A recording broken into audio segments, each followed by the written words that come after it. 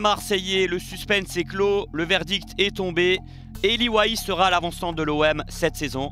Il arrive pour un montant de 25 millions d'euros, plus 5 éventuels en bonus. Il y a Lens aussi qui garde un pourcentage à la revente sur le joueur de l'ordre de 15%. Dans cette vidéo, bien sûr, je vais le présenter assez longuement, parlant de son profil, de cette affaire, de ses déclarations, comme quoi il détestait l'OM, mon point de vue et les attentes que j'ai sur ce joueur cette saison. Je parlerai ensuite des autres rumeurs hein, sur le mercato qui font l'actualité. Rove, Moukoko, Meite, etc.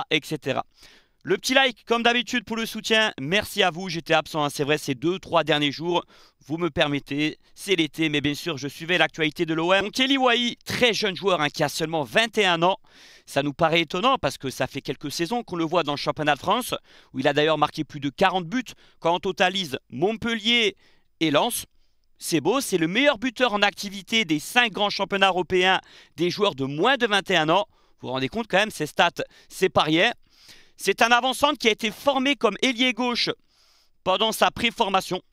Ensuite, avec Montpellier, il a joué quelques matchs sur le couloir, mais pas plus que ça. Et je pense que De Zerbi le mettra en pointe, c'est même pas je pense, hein, c'est une certitude. On recrutera quelqu'un pour évoluer sur le flanc gauche, et tant mieux d'ailleurs. Il y a des clubs anglais qui étaient intéressés par lui, et non des moindres, Leicester, Everton, Chelsea aussi est venu au renseignement, tout comme Monaco, mais ils n'avaient pas la détermination qu'avait l'OM. Et puis nous, on a fait une offre concrète, hein, de l'ordre de 25 millions d'euros. C'est vrai que notre priorité, c'était Nketiah dans la tête des dirigeants et du staff. Il correspondait encore plus, je pense, à ce type de joueur que veut De Zerbi en pointe, un attaquant mobile, capable de décrocher, de remiser, même si Wai n'est pas maladroit non plus hein, de ce point de vue-là. On y viendra un peu tout à l'heure. Mais Arsenal voulait 30 patates, ni plus ni moins. Là, on s'en sort un petit peu mieux avec Wai, qui est légèrement moins cher. Donc c'est un joueur qui a staté dans le championnat de France, qui connaît la Ligue 1. Alors je ne dirais pas que notre saison dépend de lui uniquement, bien sûr, mais il va avoir un rôle prépondérant dans la réussite de cette OM version de Zerbi. Pourquoi? Parce qu'il arrive avec un prix de transfert de 25 millions d'euros, mais surtout qu'il va devoir remplacer Sanchez puis Aubameyang. Deux neufs qu'on a eu précédemment de très grande classe et qu'il va falloir être solide dans la tête, vraiment. À l'OM, la pression, elle est forte, encore plus quand tu es l'avancante de l'équipe. Où nous, les supporters, on n'est pas réputés pour être patients, encore moins envers les numéros 9. Je sais qu'il veut marcher sur les traces de Drogba. En tant que franco-ivorien, son enfance, il a forcément regardé des vidéos et s'est inspiré de lui. Les qualités principales, on va commencer par ça. Et ensuite, je parlerai des petits doutes que j'ai sur ce joueur, même si je suis satisfait hein, de cette arrivée. Je l'avais dit d'entrée de jeu, Wai, pourquoi pas? Ça ne sera pas un flop à la Vitinha, Mitroglou, Valère Germain. C'est un joueur qui state. D'ailleurs, c'est sa principale qualité, la finition clinique qu'il a devant le but. Dans le foot moderne, on dit qu'il y a de moins en moins d'avancantes qui sont capables d'être des vrais renards des surfaces. Et lui, quand on voit ses stats, des occasions qui se procurent et de la conversion finale de ses tirs, il est vraiment pas mal du tout. Alors après, je sais qu'à l'OM, on est beaucoup plus attendu, il va jouer devant 65 000 personnes et qu'encore une fois, l'aspect mental va être primordial. C'est un joueur qu'il faudra canaliser parce qu'on y reviendra tout à l'heure. Il a eu quelques excès de débordement dans plusieurs clubs, ça c'est clair et net. Il a un potentiel énorme, 21 ans, plus de 40 buts dans le championnat de France. Sa saison l'an dernier est plus que mitigée, ça aussi c'est une réalité. Après, pour revenir sur ses qualités, outre la finition, c'est un joueur, un avant-centre qui va au duel, qui va chercher à provoquer son adversaire direct, notamment dans les 1 contre 1.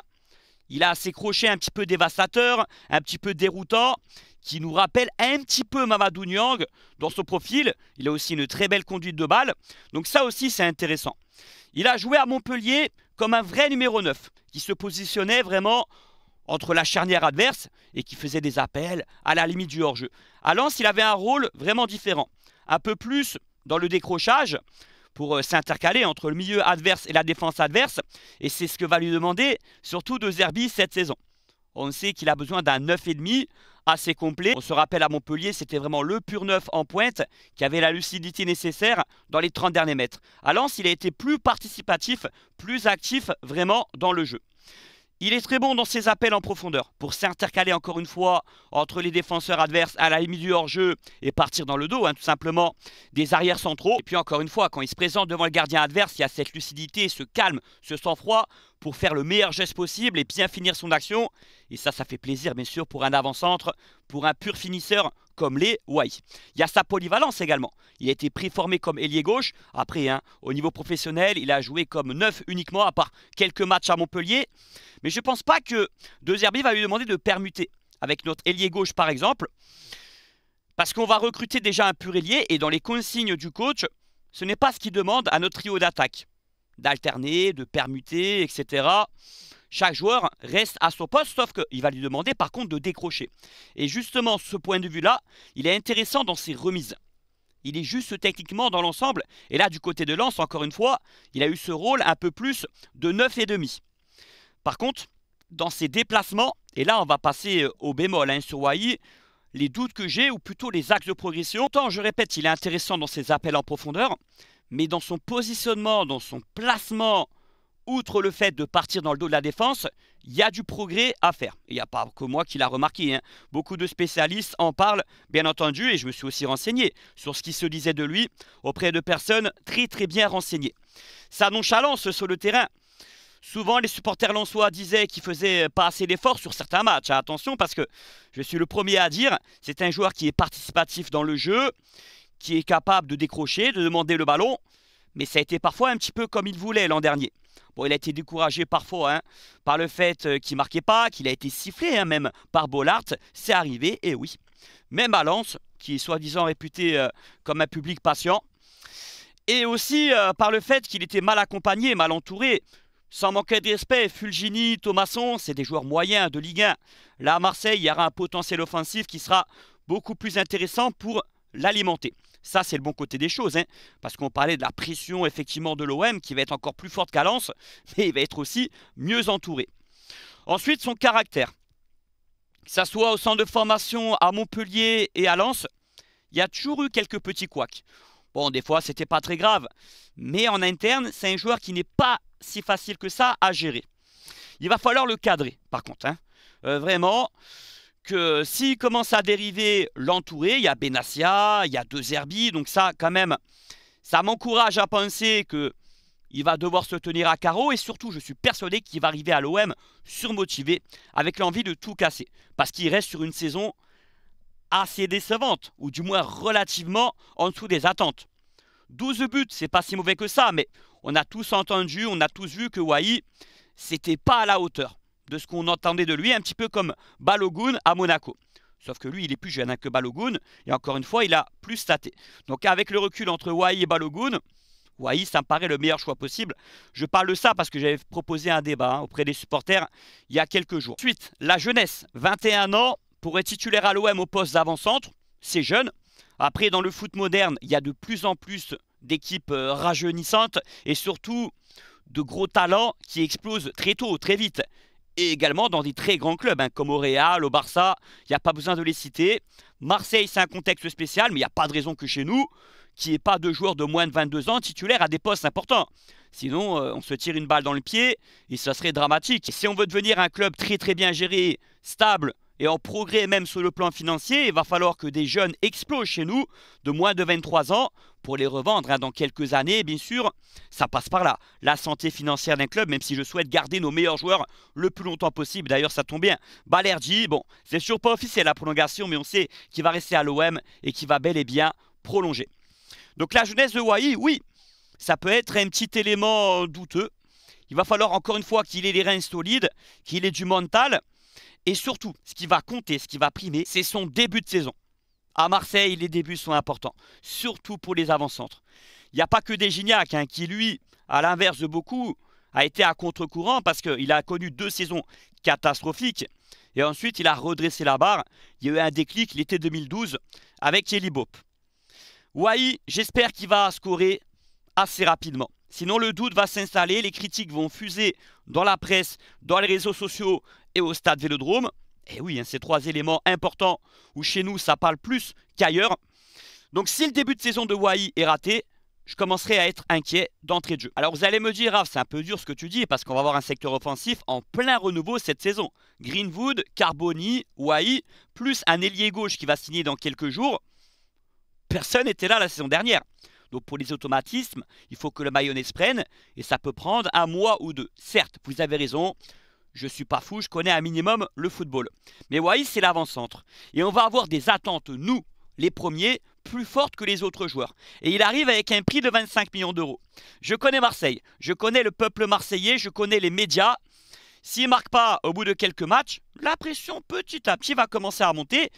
Et beaucoup de supporters vont dire Ouais, mais ouais, il est mort depuis Lens, fallait pas le signer. Il restait sur une saison euh, plus qu'en demi-teinte.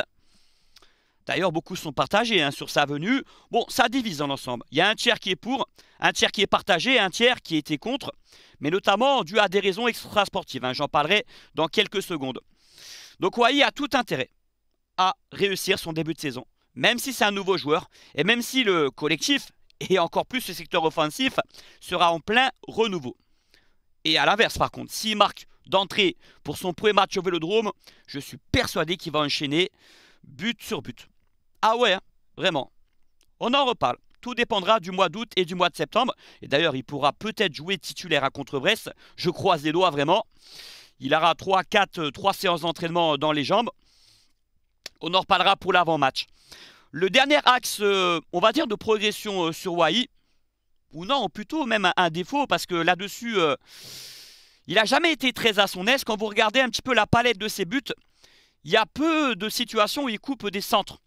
Ça veut dire qu'il n'est pas très bien positionné sur les centres de ses coéquipiers. Il a tendance euh, à pas assez couper au premier poteau. Dans les schémas que j'ai vus un petit peu, dans ses déplacements sur le terrain, il attend un petit peu le ballon soit au deuxième ou soit dans les 6 mètres. Il faut un petit peu qu'il passe devant son adversaire direct pour le surprendre notamment quand il y a des centres au premier poteau. Mais bon, ça, ça se travaille. Et bien sûr, c'est aussi la coordination avec les latéraux, nos ailiers, surtout nos ailiers, hein, parce que nos latéraux vont peu déborder au poteau de corner, que ce soit le latéral gauche et le latéral droit par rapport aux consignes de Zerbi. Donc ça, Greenwood devra le savoir. Et notre ailier gauche, comme Luis Enrique, mais bon, il va être remplaçant, j'espère, également. Wai, il coupe quasiment jamais au premier poteau. Et ça, c'est pas très bien, hein, parce que en général, les avant-centres qui ont cette faculté, qui ont ce côté euh, vicieux de le faire, c'est souvent payant, je trouve. J'ai un exemple à vous donner, Mitroglou. C'est pas pour l'enterrer, Mitroglou. Mais lui, c'était le prototype d'avant-centre qui attendait les ballons, soit au deuxième ou derrière le défenseur. Bon, pour couper de la tête, etc. Mais ça m'agaçait sur les centres de Amavi, Bounassar, Tovin, etc. qui coupaient pas au premier poteau parce qu'il y avait tellement de situations où il aurait pu scorer en le faisant ainsi. Voilà pour euh, les qualités et les défauts de Wai. Je suis dans l'ensemble content de son arrivée. C'est un joueur qui a donné des garanties, qui a même explosé à Montpellier, hein, avec une saison 2022-2023 remarquable. Et encore une fois, je salue son choix d'avoir voulu signer à l'OM, parce qu'il avait des intérêts en Angleterre, mais on a vu d'entrée, on l'a su, qu'il voulait l'OM coûte que coûte à tout prix. Beaucoup de médias en ont parlé, et je suis certain qu'il le dira en conférence de presse, certainement aujourd'hui d'ailleurs. J'aimerais aussi parler de la polémique parce que Wai, il y a 3-4 ans, il avait dit qu'il signerait jamais à l'Olympique de Marseille. Bon, on va pas se mentir, hein. il nous détestait étant jeune et étant adolescent. Par contre, ce n'était pas un supporter du PSG. Et d'ailleurs, dans cette interview qu'il avait donnée, Quelques jours plus tard, il s'était excusé, il avait précisé que c'était une blague et qu'il a même jamais été supporter du PSG. Est-ce que c'est vrai ou pas? La vérité, j'en sais rien. J'ai pas de preuves de dossier sur lui étant au collège ou au lycée avec un maillot du PSG. Ça, on le saura peut-être plus tard. Mais ce qui est réel, ce qui est du concret, c'est qu'il a toujours vanté l'ambiance du Vélodrome.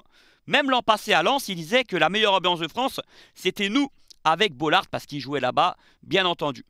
Donc ça, ça fait plaisir. Après, je ne dis pas que ses propos, c'est rien. Moi, quand j'ai vu euh, cette déclat, ça m'a pas fait plaisir. Mais je vais vous dire la vérité. Parce que certains, et je comprends, hein, ils sont choqués de l'accueil qu'il a eu à l'aéroport de Marignane, où il y a eu des supporters qui ont chanté pour lui, il y a eu quelques fumigènes, mais parce que c'est un effet de mode un peu depuis deux saisons. Et cet euh, été, il y a eu tous les joueurs accueillis par les supporters à l'aéroport, si vous remarquez bien. Un petit peu comme en Turquie. Bon, ça fait partie du folklore. C'est la passion marseillaise, c'est l'exagération, l'excès le charme aussi de notre club et de notre ville. Mais est-ce que c'était mérité cet accueil? La vérité, non. Mais il faut mesurer, les gars. Il n'y avait pas beaucoup de monde. Hein. Il y avait 30, 40 personnes, pas plus. Donc euh, il n'est pas arrivé en rockstar comme Alexis Sanchez ou comme Ndiaye. Non mais il faut dire la vérité, regardez l'affluence qu'il y avait à l'aéroport de Marignane. C'est pas une critique, mais c'est pour faire taire un peu les dires qui disent il a été trop trop bien accueilli. C'était pas marquant, loin de là. Moi j'aimerais, bien sûr qu'il parle de ces propos qu'il a eus il y a 3-4 ans, c'est une évidence, il y a intérêt quand même. Qui se justifie là-dessus en conférence de presse, et après on passe à autre chose. On lui souhaite la bienvenue, mais il y a toujours ce petit truc qui fait pas trop plaisir chez beaucoup de supporters. Quand il a dit qu'il voudrait jamais jouer à l'OM, quand on voit son regard, son attitude, que c'est vraiment pensé, sincère. Donc bien sûr qu'il doit se justifier. Ça me rappelle Lucas Hernandez qui a signé au PSG il y a un an. Les médias lui ont parlé de ça les trois premières questions dès son arrivée et les supporters parisiens la plupart lui en voulaient. Donc nous, ça doit être au moins la même chose. On a un peu de fierté quand même. Mais je vais vous dire aussi la vérité, cette affaire-là de Wai et ses paroles, il y a 20 ans, il n'aurait pas signé à l'OM. Réfléchissez bien les anciens. Ça, c'est sûr et certain. Parce que maintenant, on est tellement habitué aux mercenaires, aux joueurs qui ont très très peu de valeur hein, pour la plupart, qui sont là pour performer sur le terrain, où on s'attache un peu moins à eux, la plupart du moins. Et on en a tellement vu des vertes et des pas mûres. Côté parisien et marseillais, des traites, pas des traites, vous m'avez compris. Que ça nous fait plus rien. Qu'on a tout vu en fait. On est habitué à tout. Mais il y a 20 ans, là en plus où la rivalité au MPG était à son apogée, il y aurait eu un truc comme ça, ça aurait fait plus de bruit. Et pourtant, à l'époque, il n'y avait pas les réseaux sociaux. Donc, je suis quand même agréablement surpris que l'affaire Wai, ses déclarations n'ont pas été si relayées que ça, je trouve, sur les réseaux. Rappelez-vous de Gamero, il y a deux ans. Bon, je sais que lui nous a provoqué un peu plus. On a clairement boycotté son arrivée parce que Sampoli et Longoria le voulaient. Hein. C'était acté, mais vu la vindicte populaire et haineuse contre lui, il s'est rétracté de lui-même. Oui, euh, dans l'ensemble, j'ai vu quand même mal de bienveillance chez une bonne partie des supporters.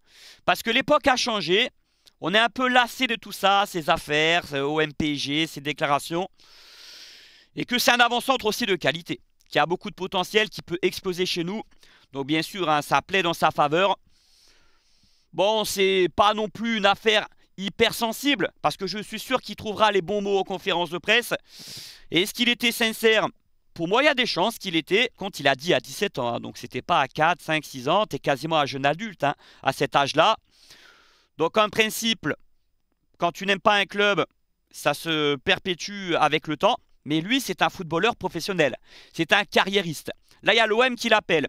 Et dans sa tête, c'est le meilleur choix possible pour plein de raisons. Il y a deux herbies, l'OM a de l'ambition, le championnat il connaît bien, il arrive dans un club euh, prestigieux, médiatique, le plus grand club français, donc ça donne envie, même pour un entier marseillais.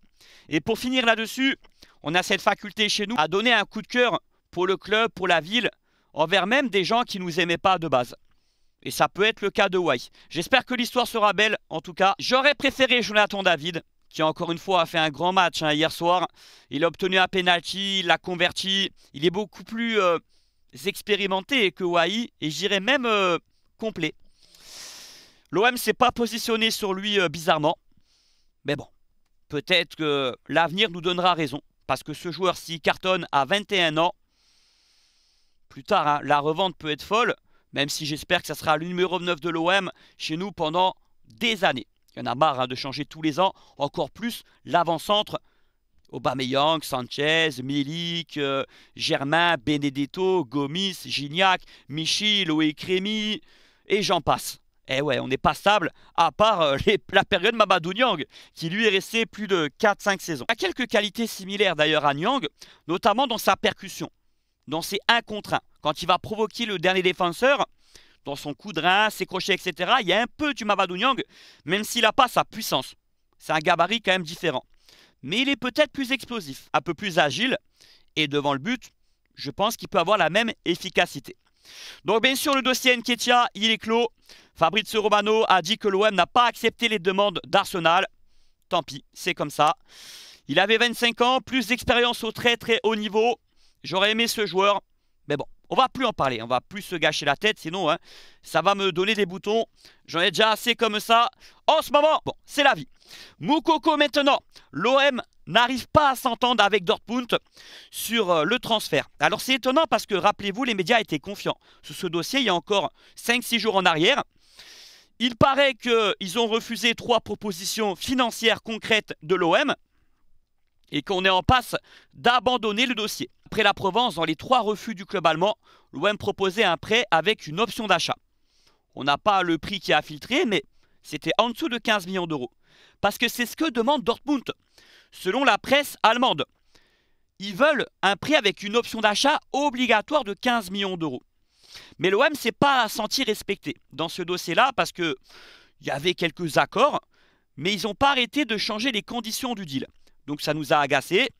Mais ce qui m'étonne un peu dans tout ça, c'est que moi je trouve ça très correct. 15 millions d'euros pour Moukoko. Je sais pas ce que vous en pensez, mais pour un joueur comme ça, qui a un tel potentiel, après n'oubliez pas qu'on vient de signer Wai. Donc le dossier Moukoko, il est plus si prioritaire et important que ça. Je vois vous voulez en venir. Après, vous allez me dire, on peut mettre Moukoko à gauche et Wai en pointe. Mais au final, je ne pense pas que De Zerbi aurait utilisé cette option. On va prendre un vrai ailier gauche de métier. Et vu les conditions du deal, L'arrivée de Wai et le fait que Dortmund il change les conditions, etc. L'OM est agacé, donc tant pis.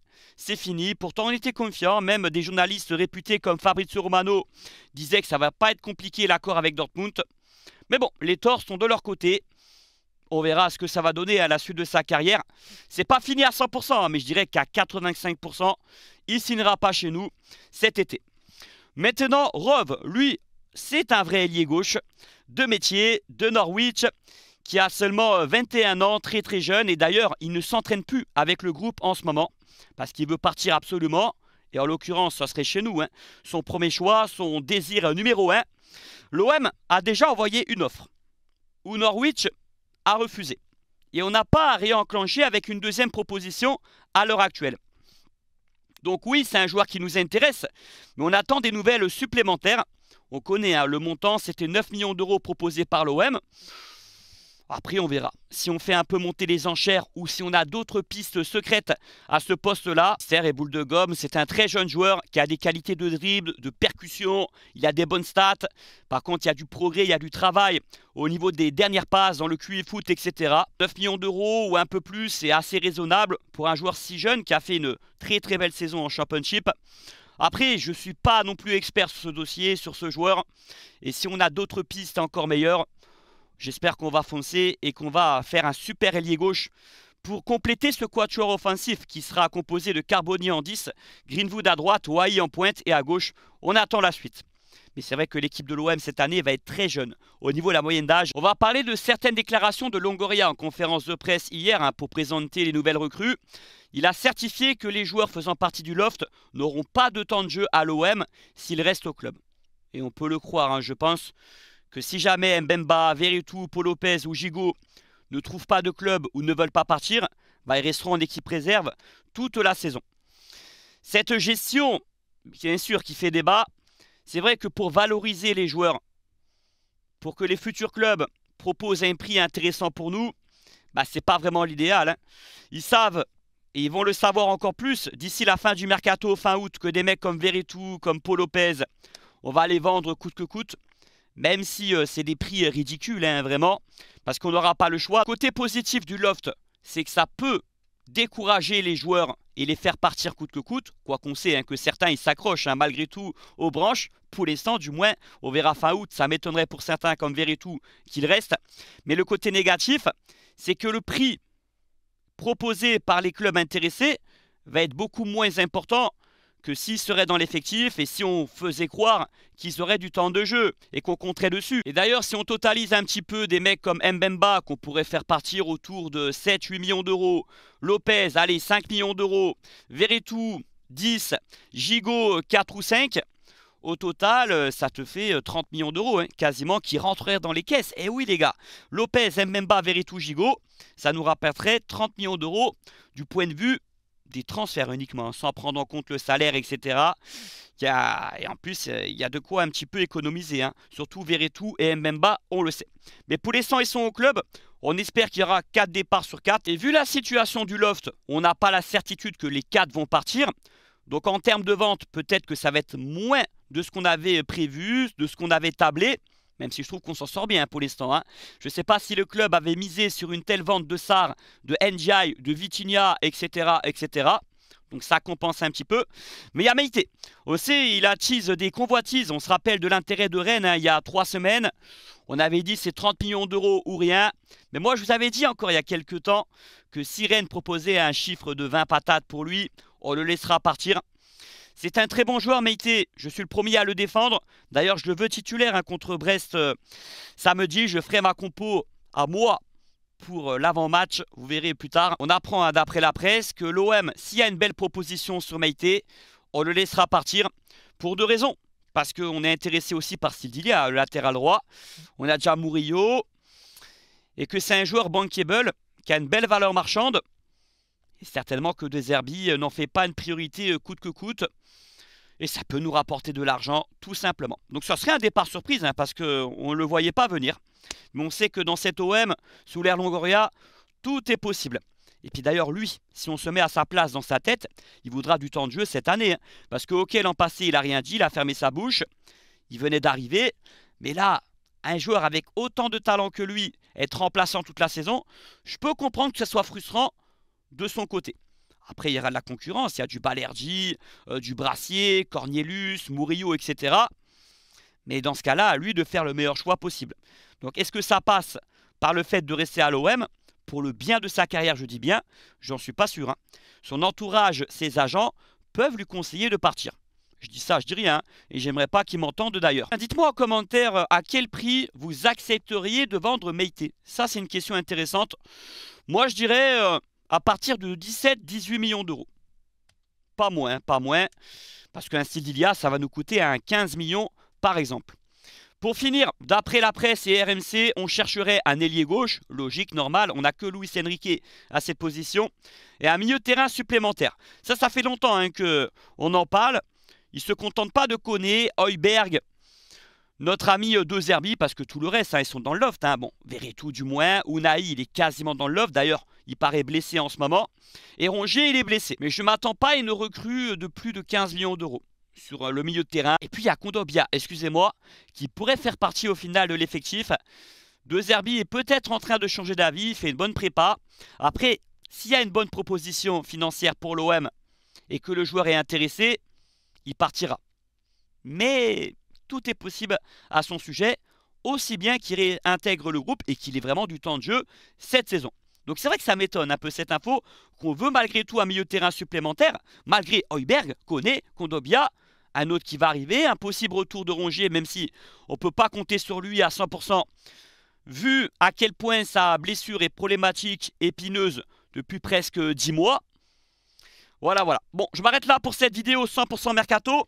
J'avais prévu aussi de parler euh, du plan de jeu de De Zerbi, de ce que j'ai remarqué dans la préparation, des points positifs, négatifs, des joueurs qui ont marqué des points, d'autres un peu moins. Mais je le ferai dans une vidéo spéciale, certainement euh, après-demain. Ça sera mieux, sinon ça va être trop long. J'ai beaucoup euh, blablaté, plus que prévu. Donc, soyez fidèles, activez la cloche de notification, mettez le petit pouce bleu juste en bas pour le soutien, c'est le plus important. Merci pour votre présence. Hâte du début de saison, on vivra tous les matchs de l'OM en direct, on va chanter, on va donner de la voix.